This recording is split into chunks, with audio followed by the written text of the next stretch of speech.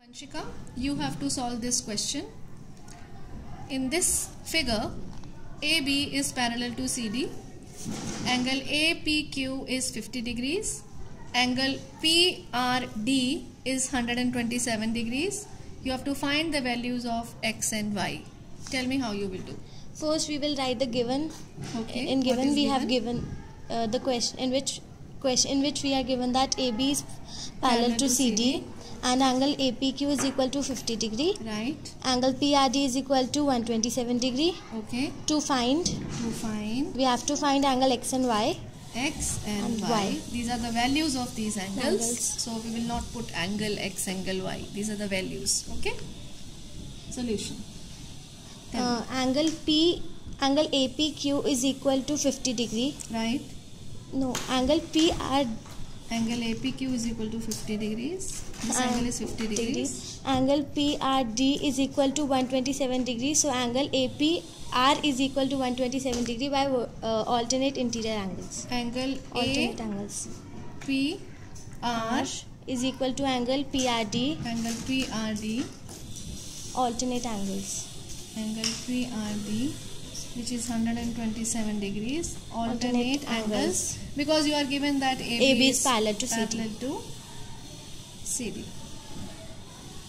Now to Fine. find Y, we will um, subtract 127 Y is equal to to 127 minus 50 degree 127 degrees minus 50, 50 degrees, degrees. which is equal to to um, 77 degree.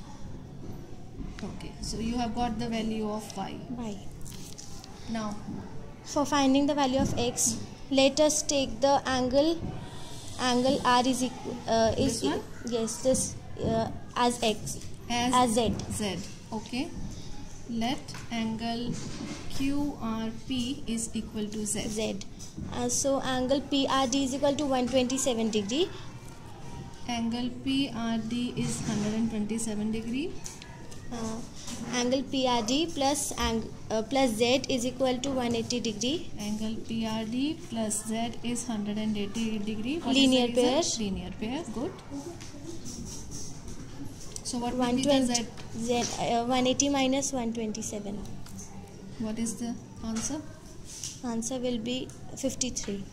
53 degrees so z is 53 degrees Now to find x, we will we will uh, do x plus y- x plus y plus z is equal to 180 degree by angle sum property. very good so in a triangle the sum of Sum the three three ang- angles interior angles is 180 degree. degrees so this is called angle sum Sum property property. of a triangle so this implies x Plus plus 77 degree plus 56 degrees plus plus 53 53 degree degrees. is equal to 180 degree and uh, x is equal to 180 minus 130 okay. So x is equal to 50 degrees. Very good. So you have got the values of x and y. Can you tell me in this question what all results you have used?